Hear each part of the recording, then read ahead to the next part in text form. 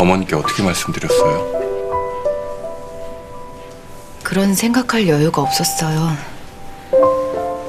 은비가 병원을 다니느라 그럴 여유가 없었어요. 왜요?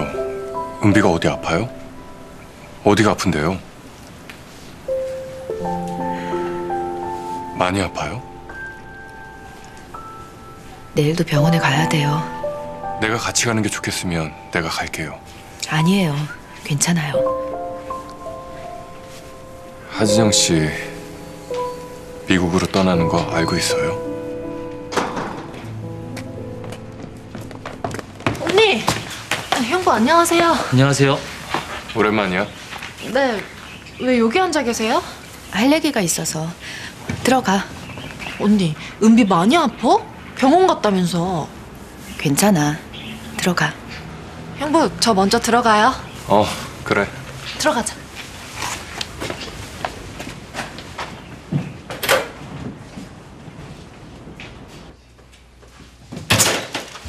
할아버지, 저희 왔어요. 안녕하세요, 할아버지. 뭐냐? 어서 오너라.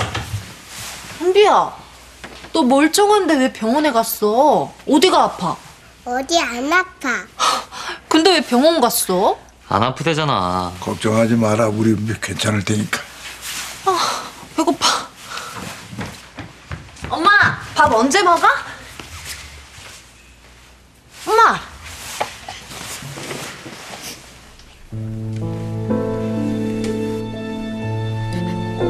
엄마.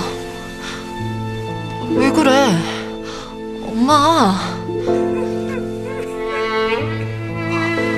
왜 그러냐고.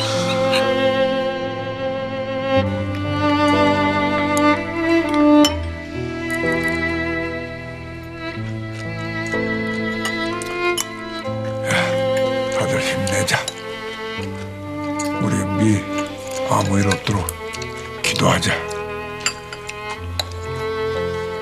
유전자 검사도 잘 받고 치료도 잘 받도록 힘내자.